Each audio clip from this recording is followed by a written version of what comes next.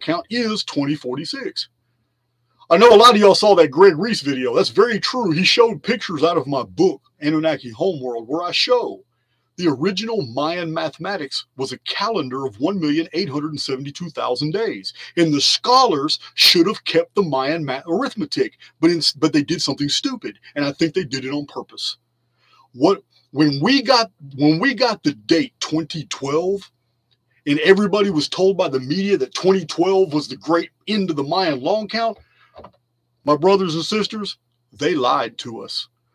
It's impossible because the Maya did not know a year of 365.25 days until very late in their history.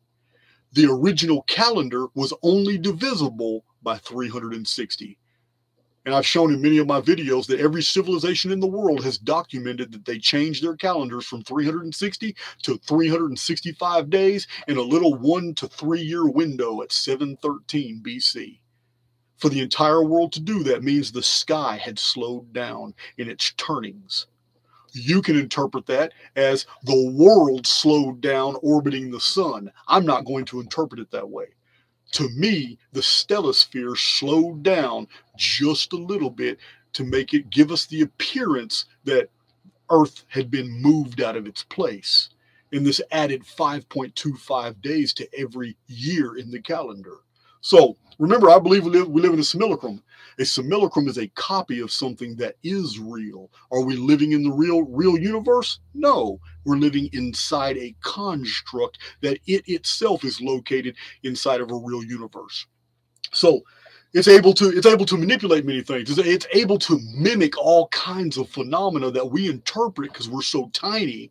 We interpret it as real phenomena that should should I mean, being in a, in a heliocentric system, everything is designed for us to to conclude that we are in a heliocentric world system.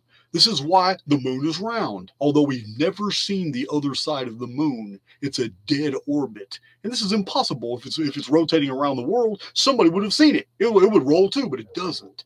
It doesn't spin on an axis. That is a really good clue now, another good clue are the phases of the moon. Because if every the sky is a stellosphere, the phases of the moon, which we interpret as the reflection of sunlight, means that the, room, the moon is round, means that the sun would be round, means that the phases of the moon are just different areas of reflected sunlight. This too is a clue. It means somebody wants us to think that our own world is also round when it's not. We're in a simulacrum. This is all simulated. And the greatest evidence is the fact the stars move in an arc of phi, 1.618 across the sky. They move in an arc the intelligent observer would look at the sky, look at the phases of the moon, look at the roundness of the moon, look at the sun and know it's round too, and automatically conclude because everything is moving that they are also on a ball that's turning. Every bit of this phenomena is designed for you to believe. It's the simulacrum. And it's it's it's what we're told as a child. So everything that we take in our informed field all of our life comports exactly with the with that uh, that model. We prove it to our. It's a feedback loop. The more we believe it, the more that the model itself would produce phenomena to substantiate its veracity. This is how reality works. This is why errants are dangerous. Free thinkers are not wanted free thinkers are are allowed and permissible by a society as long as they go with the status quo.